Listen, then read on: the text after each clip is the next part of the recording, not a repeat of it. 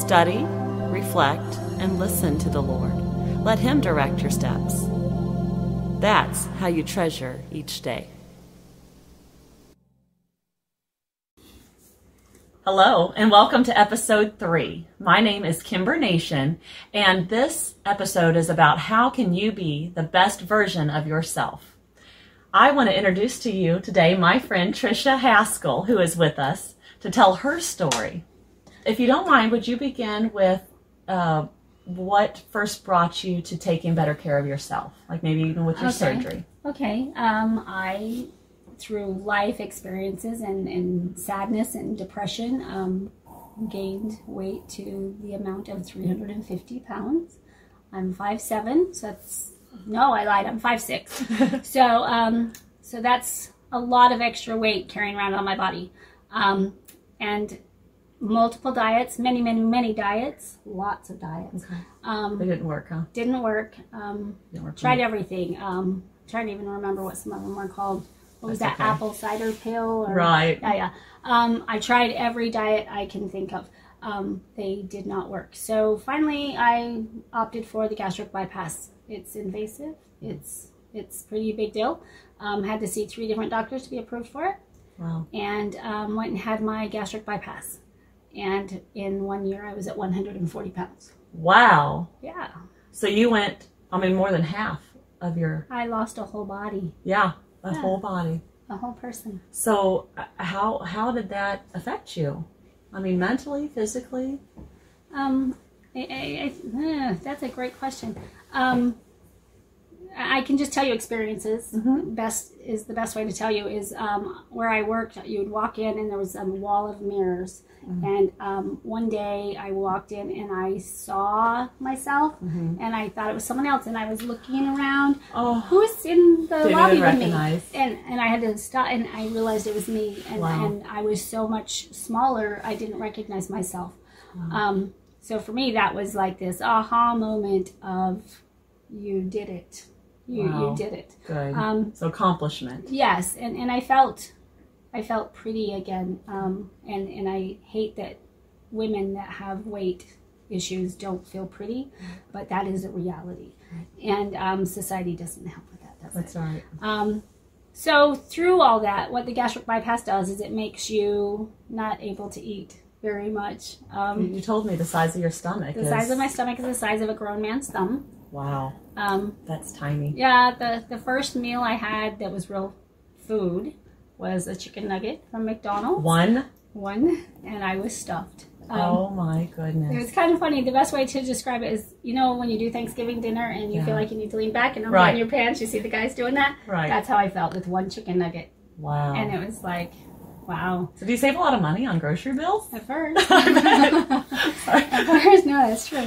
Um, but you have to learn to eat the right things too, Yeah. because drinking orange juice and filling your little tiny stomach is pure sugar and pure Oh. carbs, and then your body goes into what's called dumping, and you get shaky, or your because your blood sugar level is so high, um, your body can't process it. Okay. and so you have to be very careful to eat proteins and car- uh, no carbs and no sugars. Okay. Um, so nutrition becomes pretty big deal. And they taught you some of these things after the fact. Yes. We were talking before. Why isn't this information taught beforehand to people? Yeah, um, you're talking about the things like like iron. Iron. Iron is absorbed with the help of vitamin C, but if you take vitamin D, it blocks it from absorbing. Okay. and you you learn that when you're so low on iron because you can't eat enough to support a, an adult body Okay. you have to be more aware of getting that iron in in those few bites you get each day Okay. and so um, you got to learn what forces it to absorb Okay. and, and and like i told you i feel like if i had learned that a long time ago i might have been able to adjust it myself um, doctors say their thoughts are that your stomach is this big or, or whatever it is and to kick in um, metabolism you have to stretch it so you're eating so much food to make this stomach stretch that you've eaten too much and so they say there's no way around it and that's why it's considered um, a disease and they have to make your stomach smaller so that you can retrain your body to kick in your metabolism Okay. um, but when you're when it's this big, literally, your nutrition is is most important. Right. And you have to eat high quality food in your little bits. Tricia, can you tell us how have you learned to take care of your body and why is that so important? Oh, I don't feel like I'm a great example of this, but um, uh, through the surgery, I learned that exercise is crazy important. Um, and I've also shared this with you, but um, I'm not an exerciser. That's why I got so overweight in the first place. But um, my doctor had said to me, about 40 pounds down, um, what are you doing to exercise? And I said, not an exerciser. That's how I got here. And he says, well, now you have to be. And I was Okay. like, dude, that's not who I am. And he said, you've lost 40 pounds. So next time you go to the grocery store, I need you to pick up two 20 pound bags of dog food, put them up on your shoulders and do your shopping. Wow. And, and I was like, Because that was the equivalent of the that 40 was pounds the you equivalent lost. of how much I'd lost.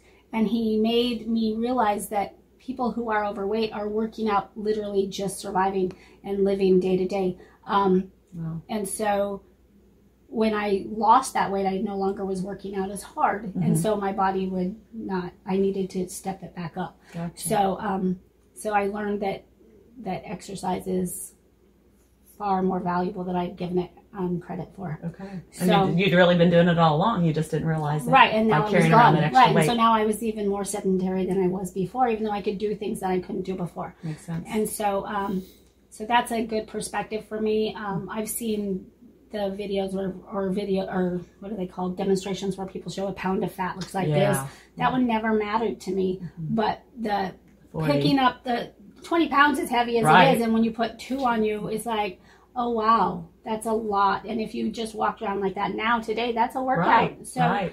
um so so yeah i've learned that that's important um the nutrition of course is always important keeping that keeping that at optimal levels um that's what i Well, I've noticed when, when we eat and we share a meal together, you take small bites and you eat slowly. And I, it's helped me slow down because I mean, I said just used to just inhale my food and that's not healthy. And I know that.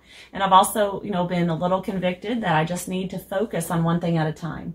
I think sometimes as women, especially, we fool ourselves in thinking that we are multitaskers and we have to by necessity, but we don't have to on everything. We can choose to focus on one thing at a time. And I'm trying to be more purposeful in that. And when I'm eating, I'm eating. I'm not trying to sit there and scroll through Facebook and do other mm-hmm. things or replying to text messages.